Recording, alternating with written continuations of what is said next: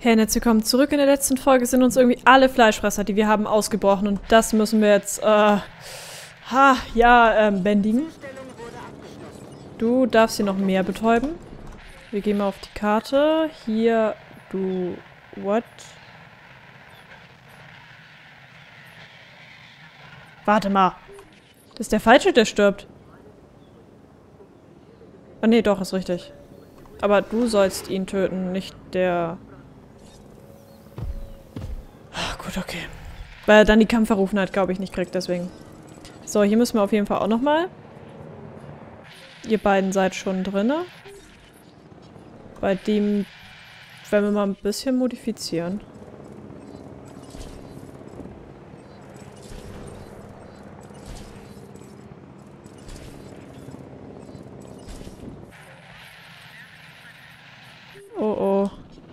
Wie, wann haben die denn das jetzt wieder kaputt gemacht? Wahrscheinlich waren zu wenig Leute für ihn da. Nee, keine Ahnung. Der hatte einfach Bock darauf. Okay, gut. Ah, na, äh, du nicht. Ah.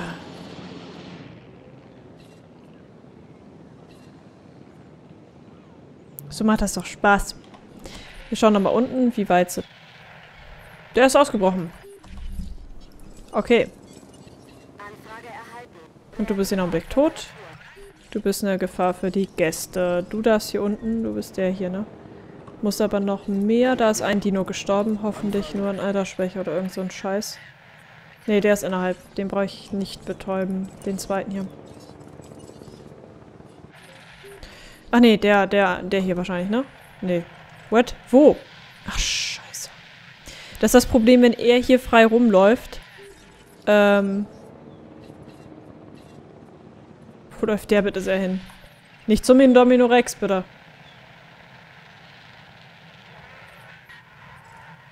Chaos, Leute. Chaos hoch 10. So, die werden wir alle wieder hier rein transportieren.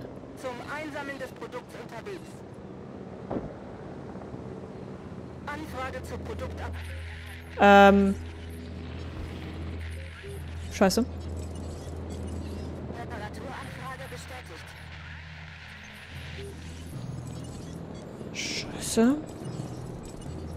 Scheiße. Scheiße. Klopf, klopf. Wer ist da? Neuer Auftrag. Das war's auch schon. Ich will keinen neuen Auftrag. Ich will erstmal meine Insel hier retten. Okay, da ist wieder zu. Du wirst transportiert. Du wirst betäubt. Ihr seid, da ist irgendein Gast drin, ist nicht schlimm. Der ist tot. Ich schätze mal, dass Ihnen die Grundlagen bekannt sind. Zur Erinnerung. Ihre Dinosaurier brauchen Der hier ist gerade gestorben. Unsere Tiere sterben vor Durst, weil sie keines bekommen. Hat der jetzt eigentlich die Kampfverrufenheit bekommen? Weil eigentlich hat er ihn ja angegriffen gehabt. Nee, es hat tatsächlich nicht gezählt. Okay. Du musst den hier dran... Wow, du frisst einfach Gäste. Okay. Aber wir können ja mal hier gucken.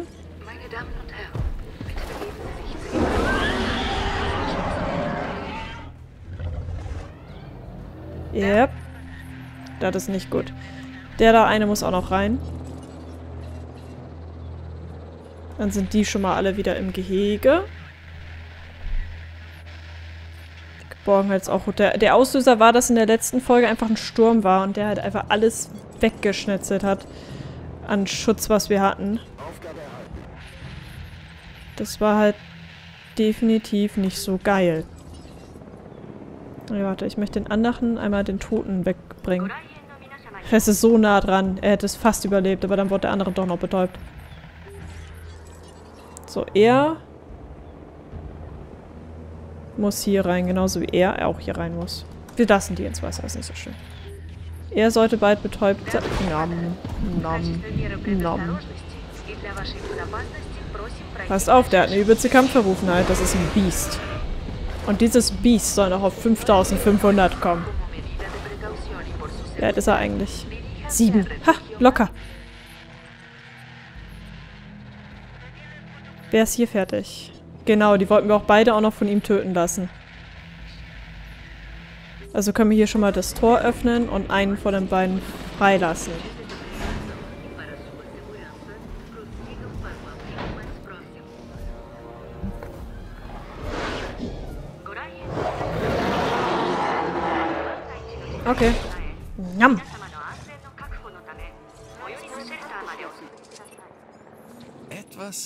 Bezüglich des Allosaurus zu denken. Nicht, dass er ein dominantes Raubtier ist, nein. Oder dass er Tiere töten konnte, die doppelt so groß waren wie er selbst. Auch nicht, nein. Ja, was war mein das jetzt? Problem mit dem Allosaurus ist, dass er im Gegensatz zum T-Rex oder Velociraptor irgendwie optimiert Nutzen die Ge wirkt. Geborgenheitsgene und schaffen sie einen, der nicht ruhig bleiben kann. Ach genau. Er hier kann nicht ruhig sein. Und das macht mich nervös. Ja. Ein nicht ruhig bleibender Dino. Und er wird hier rein transportiert. So, wir müssen hier noch einen betäuben, dann sind die hier fertig betäubt. Und wir können alle schon mal rein transportieren. Dann schauen wir uns mal an, was der eine dort machen kann. Oh, shit, jetzt habe ich den einen außerhalb abgesetzt. Ja, gut. Nicht so schlimm, wenn wir dann halt neu betäuben müssen. So, erst jetzt hier gerade beim Reinkommen, wir machen hier mal die Tür zu. Und das müssen wir uns... Wieso sind hier noch drei gefährlich für... Seid ihr ausgebrochen? Wieso brechen ihr ständig aus? Euch geht's doch super. Eigentlich. Produkttransport wird durchgeführt. Ach Gott, was ihr jetzt? Können die Schutzräume eigentlich auch wieder öffnen. Er kann nicht ruhig bleiben. Hi. Nein.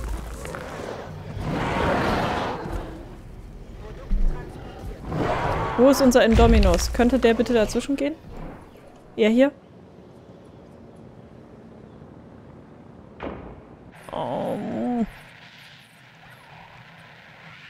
Okay, hier sind nur zwei außerhalb. Das ist nicht so schlimm.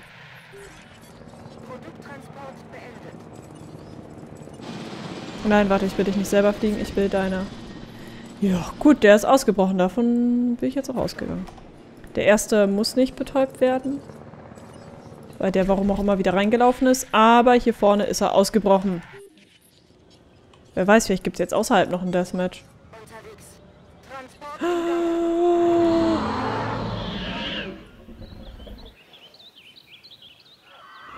Oh mein Gott, es gibt außerhalb ein Deathmatch. Vielleicht. Guckt euch das mal an.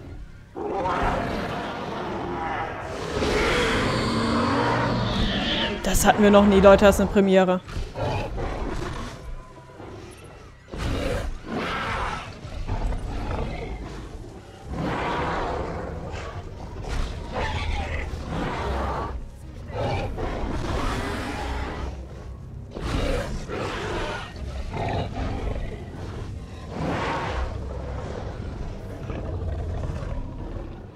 Was für eine Bewertung hat der? Okay, 500. Das heißt, der kriegt echt 250 dazu und tot ist er.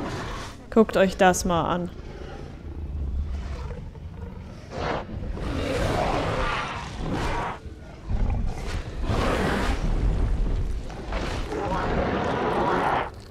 Wow. Du bist der King. Ja, der ist definitiv tot. Er konnte nicht ruhig bleiben. Vergangenheit. Mehr als Vergangenheit. So, du kannst den da betäuben. Geh der muss nicht wieder ins Gehege. Ähm, ihr beiden könnt wieder reintransportiert werden. Und bitte bleibt ihr jetzt diesmal werden. Oder habt ihr irgendwie hier das... Gesundheit in Panik? Ja, gut. Ja, das übliche Problem wegen den Großen und keine Ahnung, das ist immer noch nicht vernünftig gelöst. Sie können zwar zusammen sein, sie greifen sich nicht an, aber Angst haben sie trotzdem. Oh, hier ist noch ein Freilaufender. Ach, stimmt, das war der, den wir eben... Genau. Ihr erinnert euch. So, er soll jetzt bald... Dort ist schlief. Warte, jetzt ist mein Schliefchen. Alle denken sich so, fuck, Dominos, fuck. Guckt euch mal das Bewertung an. Au. Okay. Dann lassen wir... Wer ist der Nächste, der sterben darf? Barry Onyx. Okay.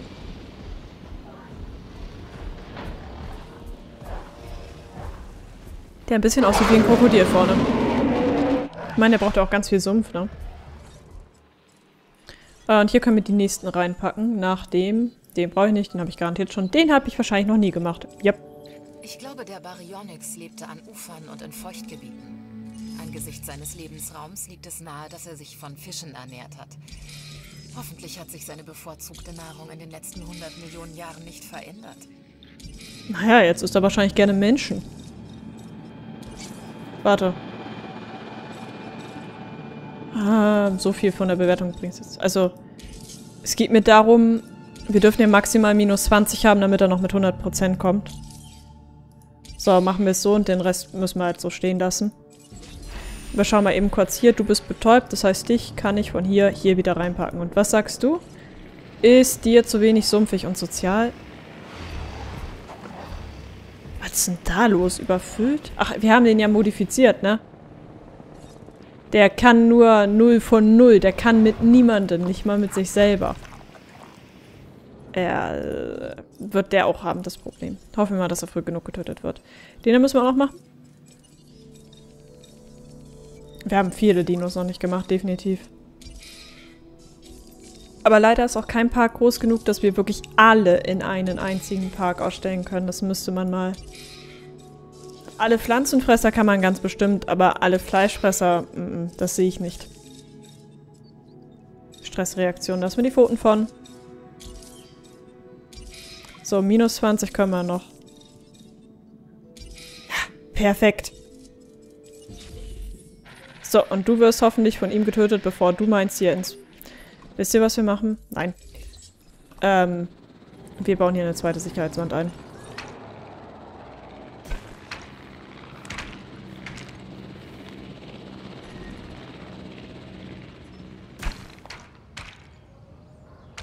So. Denn falls der tatsächlicherweise meint, hier einzubrechen in das Pflanzenfressergege, wird das echt blöd. Na, also, das, das wäre halt bescheiden. Oh, die gehen direkt aufeinander los. Oh, wie klein der ist. Guckt euch das mal an, der ist voll putzig im Vergleich zu unserem Indominus. Ham. Alter Schwede, er bettelt sich halt mit einem nach dem anderen.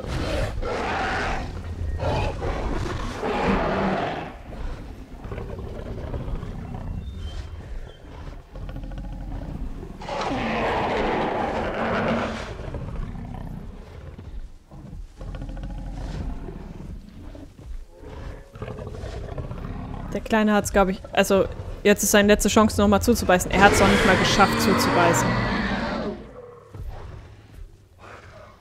Nam. Ja, das war's mit dem. Sowas von. Er hat es halt nicht mal geschafft. Das ist so lächerlich.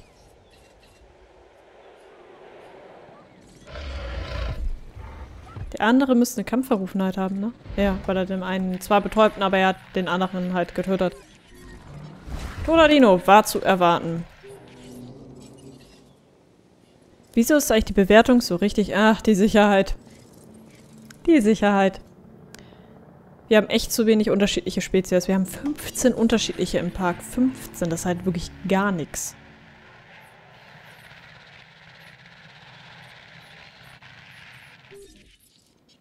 Wer weiß, vielleicht machen wir nachher einen Fleischfresser, den wir dann hier in das eine Gehege reingeben. Vielleicht Raptoren. Raptoren sind cool. Dann machen wir auch noch, dass sie nicht ganz so stressempfindlich sind. Das wäre vielleicht ganz schlau. Und dann passt das. Weil Raptoren brechen übelst gerne aus. Das könnt ihr mir gar nicht glauben, wie doll. Die es hassen, eingesperrt zu sein. So. Hier sozial die Futterstation muss aufgefüllt werden. Wo denn?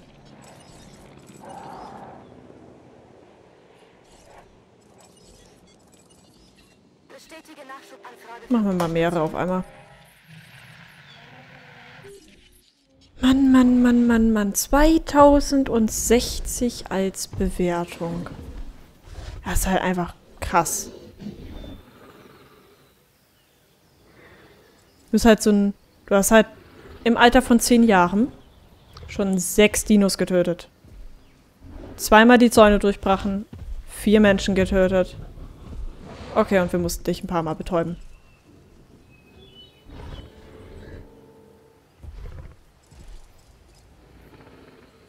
Du bist unglaublich. Und später werden wir dem noch irgendwelche Langhälse mit ins Gege tun, die scheinen sicher zu sein vor ihm. Also ich meine, Langhälse greift niemand an.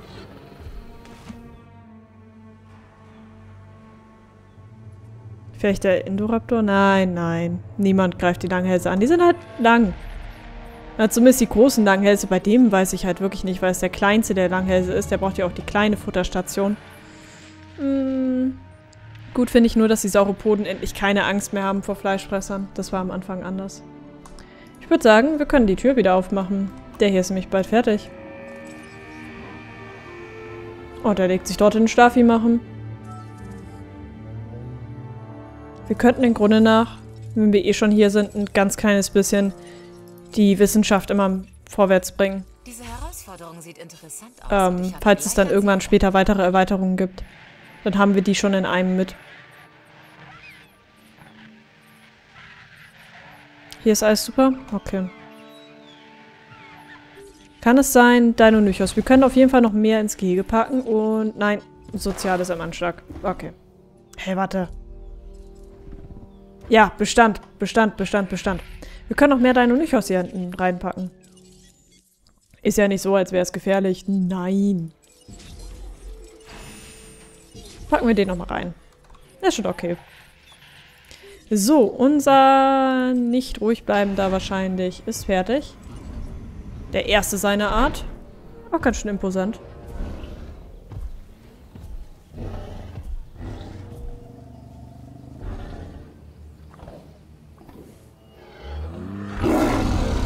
Hört sich an wie ein Löwe Mix Transformers Ding. Der Carcharodontosaurus war ein furchteinflößender Jäger, der über große Kraft verfügte und ähnlich groß war wie der T-Rex. Er wird bei unseren Gästen mit Sicherheit gut ankommen. Apropos bei den Gästen gut ankommen. Man kann den Indominorex übrigens gar nicht sehen.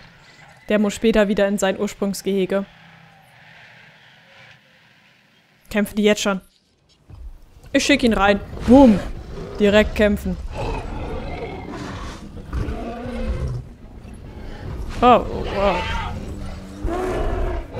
Scheiße. Scheiße, der würde gewinnen.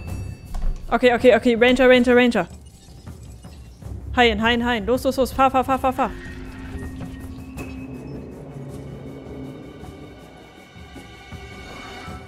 Oh Gott, das sieht gut aus. Aber eventuell das, schafft es trotzdem noch, die Büste zu machen. Und ich meine, wir verlieren die Hälfte von seiner Bewertung dann. Oh Gott, alles gut. Meine Güte, hatte ich gerade Panik bekommen. Er hat ihn erlegt. Wow, die Deinonychosse sterben wir wieder massig.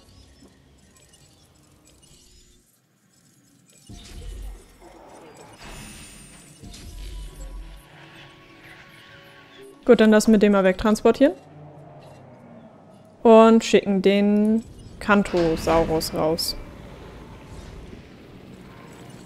Lass mal einen neuen hier. Warte, Kantosaurus war mir gerade, den haben wir eh schon, den haben wir eh schon, den haben wir eh schon. Also, was wir modifiziert haben, haben wir garantiert schon mal reingebracht. Ähm, den noch nicht. Okay. Dieser Fleischfresser, der Carnotaurus, wurde in Argentinien entdeckt. Der Name bedeutet fleischfressender Stier. Als ob ein normaler Stier nicht gereicht hätte. Gigantosaurus. Versuchen wir einfach mal. Modifizieren wir ihn einfach mal maximal und bringen ihn dann raus.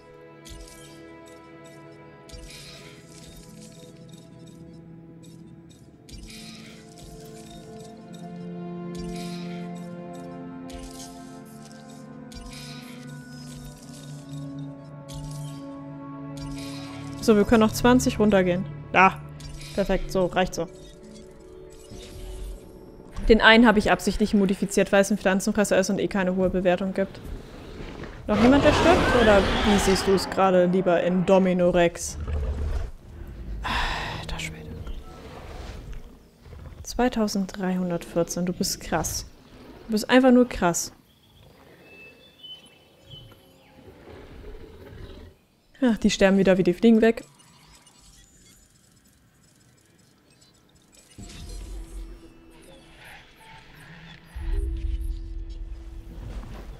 Dass der den fressen lässt? Ich verstehe es nicht. Nein.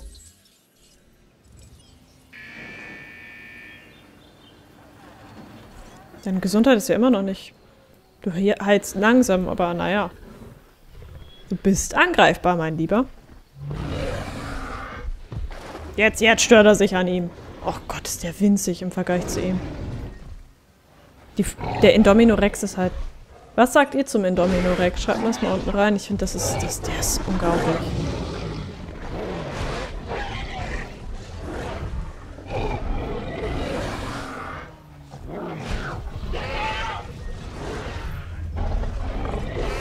Einundvierzig, oh oh. Wie sieht der andere... Oh,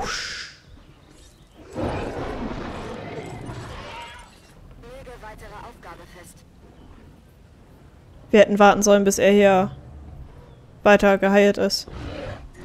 20. Wer den nächsten Hub macht, ist halt wichtig.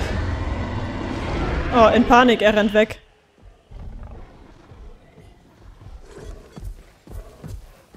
Und heilt, aber ihn heilen wir. Und hier ist das Futter weg, okay. Ich muss gerade nachgucken, wo die Meldung herkam. Oh, hier ist was kaputt gegangen. Noch vom letzten Sturm. Du kannst ihm ruhig jetzt weiter hinterherrennen, ne? Also... Ihr seid beide schwer verletzt. Nein? Ja, den machen wir später.